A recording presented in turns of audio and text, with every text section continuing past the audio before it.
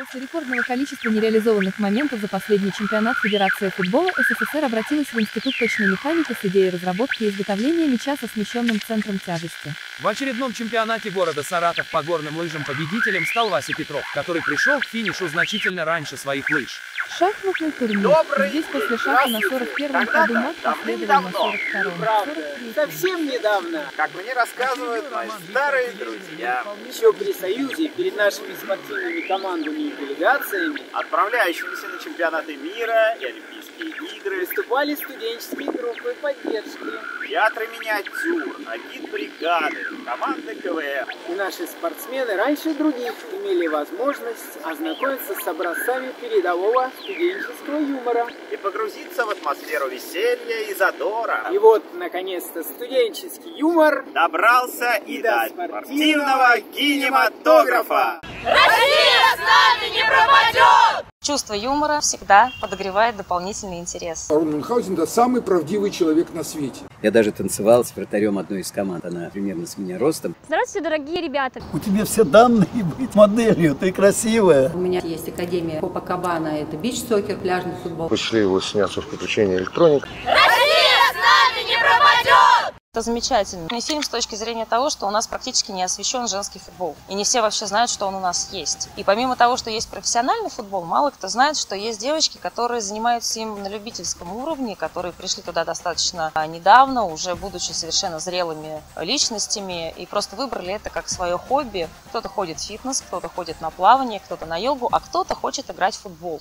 И это замечательно, что есть такая возможность. Не все знают, что она есть. И, может быть, многие девочки, которые мечтают попробовать себя на футбольном поле, узная то, что есть такие соревнования, придут и наконец-то реализуются помимо своей основной деятельности, будут реализовываться как спортсменки, футболистки, пускай не профессиональные. Очень много интересных фактов раскрывается в этом фильме. То, что одно другому не помеха. Можно быть красивой девушкой, потому что многие считают, что футболистка это какой-то киборг страшный. А, нет, совершенно не так. Это харизматичные, красивые, разносторонние личности, которые занимаются и творчеством, и спортом, и при этом остаются женственными, несмотря на то, что футбол совершенно не женственный вид спорта. Очень много тем раскрывается в нем. Как это представлено? Чувство юмора, оно всегда подогревает дополнительный интерес. Это элементарно, Ватс.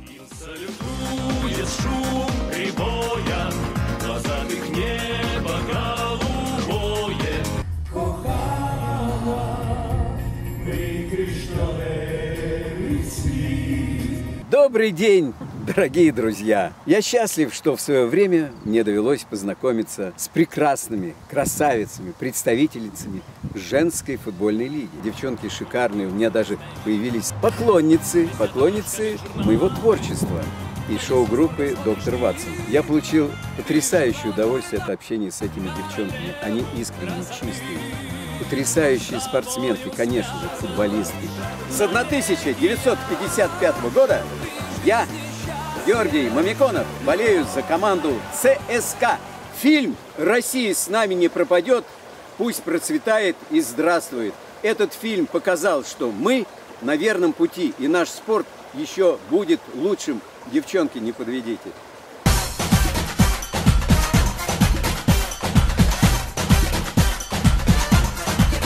Ну, во-первых, мне очень приятно, что возникают такие продукты, которые э, редактируются точки зрения спорта и кинематографа. Это вообще уникальная история, потому что массовый спорт как правило, не любят снимать и не любят его пиарить. Если у нас появляется такой продукт, который действительно отражает все, что связано с детским футболом, с женским футболом, все очень приятно и интересно, потому что сейчас идет полнейшая популяризация массового любительского спорта. Я считаю, что это уникальный продукт. Я смотрела ваши фильмы. Они имеют некий собирательный образ. Почему интерес должен возникать? Дело в том, что ни Матч ТВ, ни какие-то другие первые каналы не снимают, а вот когда появляются такие э, группы видео, фото операторского искусства, а если еще это с кинематографом связано, то это действительно популяризирует вообще футбол в принципе. Если мы с вами будем, опять же, популяризировать вот эту историю, я думаю, что наши девчонки-футболисты, они э, станут более мягче и превратятся в настоящих красивых девчонок.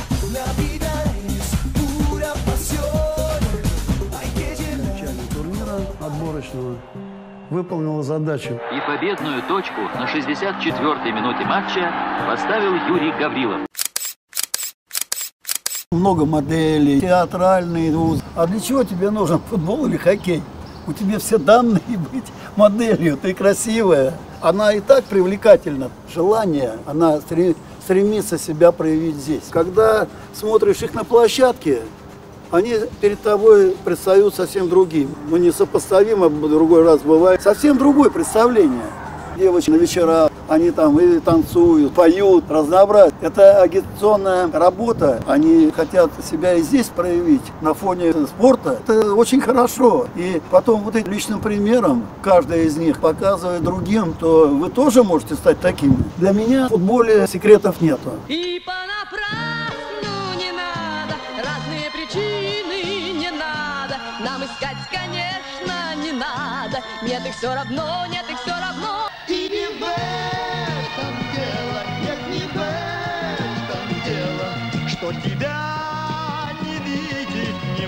Когда я узнал о том, что девчонки красивые, стройные, обаятельные, собираются и играют в футбол, я сразу решил поделиться с ними самым дорогим, что у меня есть. У меня есть внутри образ, который бы я хотел подать в качестве символа их движения. Образ барона Мюнхгаузена, который за волосы вытащил себя из болота. Я всегда, когда занимаюсь какими-то делами, особенно трудными, я всегда вспоминаю этот образ. Во-первых, барон Мюнхгаузен – это самый правдивый человек на свете. И это очень хороший образ для девчонок, потому что девчонкам все относятся с подозрением, а правда она говорит, что меня любит или нет. А во-вторых, он настолько только уверен в своих силах, и этого хотелось бы пожелать всем вам, что он, завязнув в болоте с лошадью, взял себя за волосы и вытащил. То же самое, что сделали вы. Вы взяли себя и вытащили из рутины, из беготни по магазинам, парикмахерским. Вы вытащили себя и занялись любимым, интересным делом. Я против того, чтобы обязательно стать чемпионкой, выиграть, затоптать, забить больше голов и так далее. Нет, сам спорт – это когда человек раскрывается в самом природоподобном, природосоответствующем виде. Если мы говорим о э, людях многосторонних, которые умеют петь песни, красиво выглядеть, танцевать и занимаются спортом, это верх того, что можно достигнуть человек на этой планете. Я желаю девчонкам никогда не бросать это дело.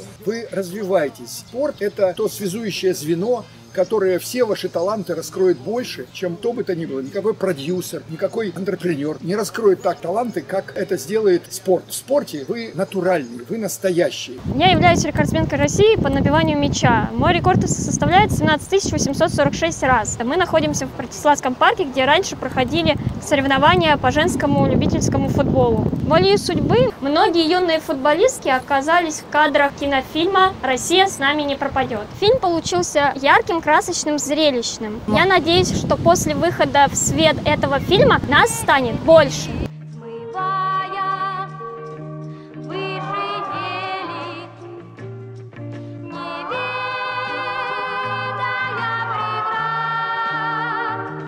Вообще, на самом деле, э, многих, наверное, удивит. Время идет, мы в этом году справили 40 лет от нашей премьеры.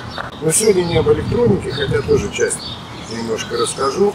А, Мне тут посчастливилось посмотреть замечательную картину, которая называется «Россия с нами не пропадет». И много шуток, много музыки, хорошего настроения, красивые женщины и интеллигентные мужчины. А Мы с братом спортсмены, и в этом смысле нам очень посчастливилось, потому что нас на родителей в три года посадили на велосипед. В четыре мы ездили уже на двухколесных велосипедах. В пять лет поставили на коньки, в шесть лет отдали в музыкальную школу, а уже в школе мы занимались боксом, и баскетболом. Тайне от родителей мы в 9 лет с братиком уже сели на мотоцикл. На серьезный мотоцикл, сами за рулем. Пошло-поехало, потом, конечно же, хоккей. В меньшей степени футбол, но тому виной травмы голеностоп. Мы когда приехали на пробы, и Константинович Бромберг, режиссер, постановщик электроника, он говорит, ну хорошо, ну гитаре умеете? Ну, умеем. Петь можете, а мы, у нас в музыкальной школе, мы хоры, сольфеджи, ну, умеем. На мопеде, умеем, на велосипеде, умеем. Хоккей, умеем. Вот так сложилось, и опять же спасибо нашим родителям замечательным. Ну, тогда была и демократия, и все эти истории были бесплатные, это сейчас стоит огромных денег. С уважением к вам, Владимир Ковсуд. Россия с нами не пропадет!